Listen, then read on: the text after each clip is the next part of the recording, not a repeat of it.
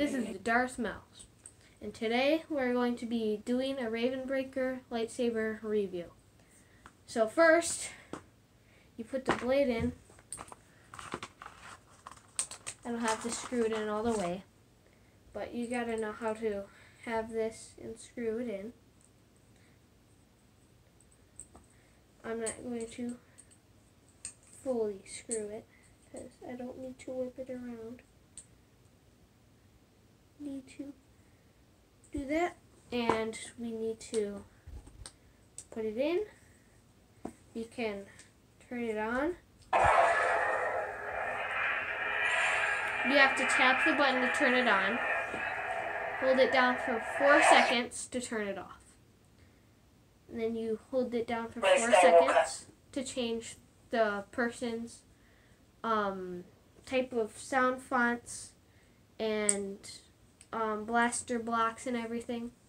I will be showing you blaster blocks and everything when we get there.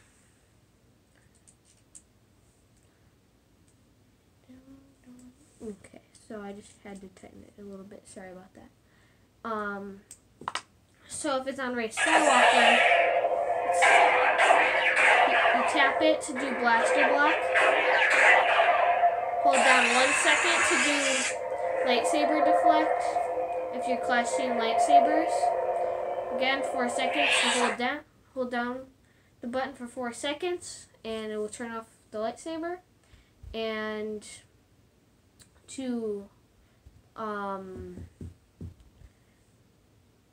pulse. Uh, two seconds is if you want pulse, which is this. One, two. Unstable. Which is a little bit different. Sorry if you can't tell by the lighting. Come on. I probably messed up my video. Okay. And then, um, one, two. Stable. Stable. Not all blinky at all. Doesn't blink around at all. And one, two, three. It will play music.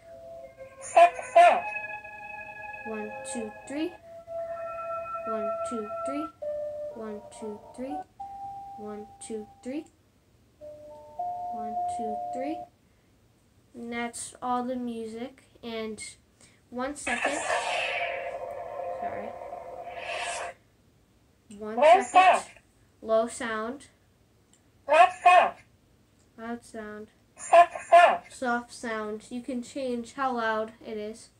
And that was our Dark Wolf um, Ravenbreaker lightsaber. Thanks for watching, guys.